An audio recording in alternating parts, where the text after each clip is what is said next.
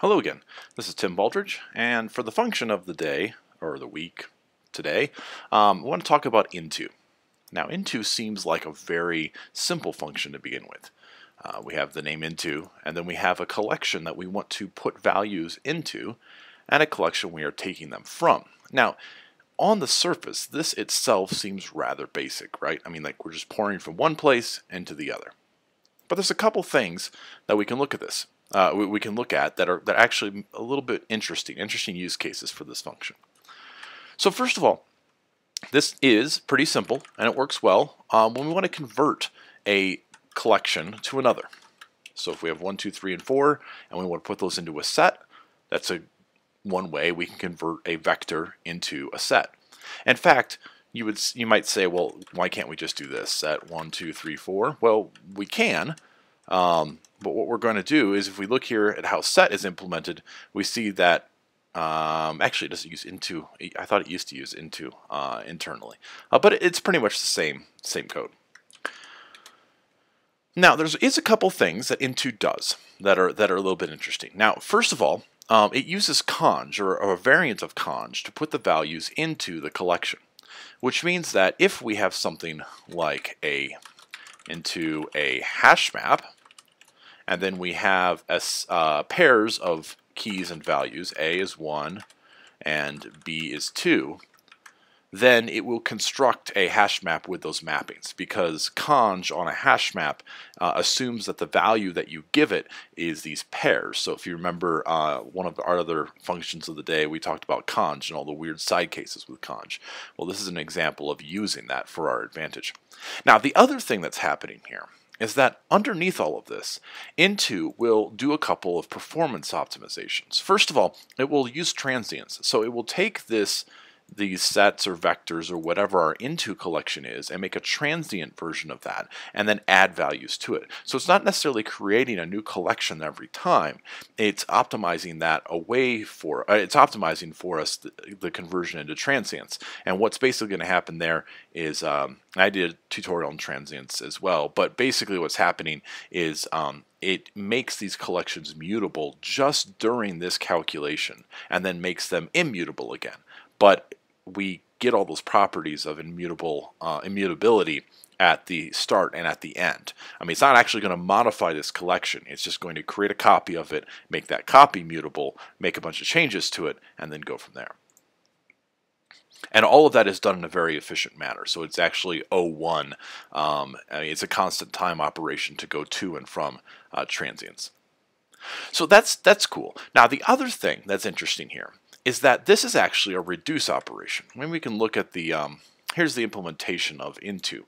And see what we're going to do is if it's editable, this is the whole transient thing, right? If it's editable, uh, editable, not editable, we're not going to eat it, we're going to edit it, um, we are going to convert the collection to a transient then we're going to reduce with conj bang, that's the transient version of conj, and at the end we're going to call persistent.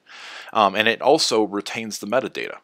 Um, and if it's not a uh, editable collection, then we're just going to uh, use um, the normal conj, and we won't worry about transients. So let's uh, another thing I wanted to look at there is if our input collection here is, um, let's see here, if we put meta on it of uh, foo is true, um, and then we do meta at the end, what we see is, sure enough, foo is still true on the metadata returned by this collection or by this operation. So it does propagate metadata, which is also a nice thing to have. Okay, so there's one other thing that's kind of interesting about this, and that is we're using reduce, which means that optimizations around things like range can also be used. So here range because this is used in the, a reducing context, won't actually create a list of 10 items. It will just say, here's how we reduce over this. It creates a loop into, is then kind of inserts itself into that loop and it's optimized. So there's a whole another thing on um, transducers, a tutorial on that. I don't, didn't intend today to keep mentioning the other tutorials I have. It just happens to be that way. So the one other thing I wanted to, uh, or two things we want to talk about. First of all, um, Into also accepts um, a transducer. So we could say into and range of 10, and we could say filter odd, and now we're only going to get the odd um, uh, numbers from that range. right? And we can do comp, you know, and say filter uh, partial um, uh, where I guess this is where 3 is greater than that, so this would only get 1. There we go. It's a little weird because I use partial there. Uh, but, you know, we could say 5 here. And then we get 1 and 3, right? So we can, we can insert transducers into there, and this whole thing takes advantage of transducers. Now, what's kind of cool to me about Into, and the other thing we haven't mentioned yet, is that we don't have to have an empty collection here at the beginning. We could have um, 1, 2, 3, and then we're going to also pour into that 10 and we get 0 one uh, uh, you know that's that's uh, we get 0 through 9 here. Um, and if we actually convert this to a vector we would see that we get 2 3 4 and then the concatenation on that right? So for vectors this almost acts like a concat an eager concat if you will but what we can do is start to use some things like sets and get some really kind of interesting results with this. For instance, union of A and B. If we assume, like clojure core set does, um, or clojure set, I guess, that A and B are sets, we could do into A, B, and that's union.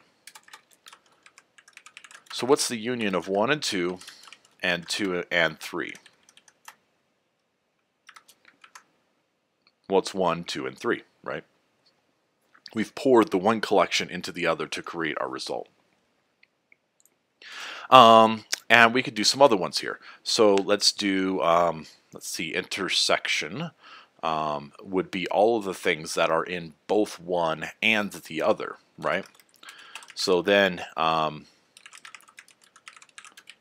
so the intersection of A and B would be into this filter a, B.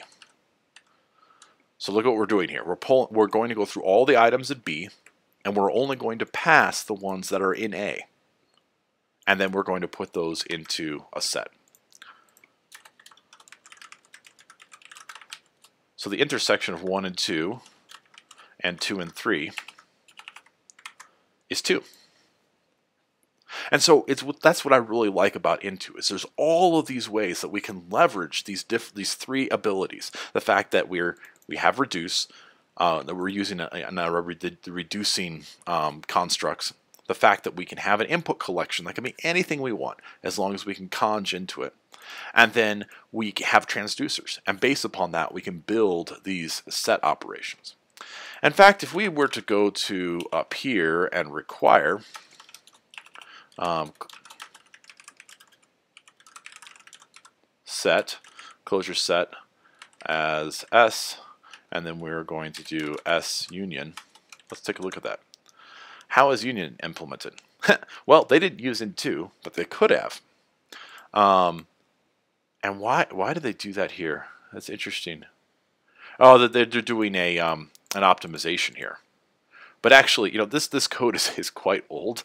Um, maybe that's something we should do sometime is uh, submit a patch uh, to this that that uh, turns a bunch of this into using um, uh, uh, the into.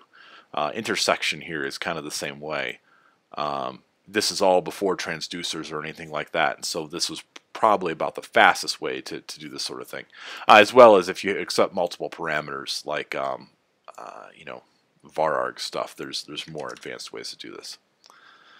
But at any rate, that's that's into. Um, what I the the things I kind of find cool about into, uh, they work with transducers. You can give it an input collection. It it does the transient stuff automatically for you, and it recognizes automatically if your collection is uh, reducible and uh, leverages the optimizations of that as well.